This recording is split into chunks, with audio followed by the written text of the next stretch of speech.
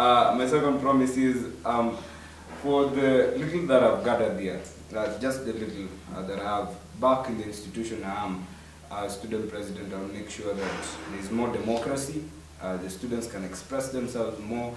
They can find a way in which answers are gotten faster. Uh, for my organization, uh, who most of them are my shadow participants, I, we have been engaging with them, I've been giving them the brilliant ideas I've been getting, and I've learned a lot from uh, the project coordinator. I think he has really humbled me and honored me, and I hope that I can be able to share that with the vast majority of the people I meet after this.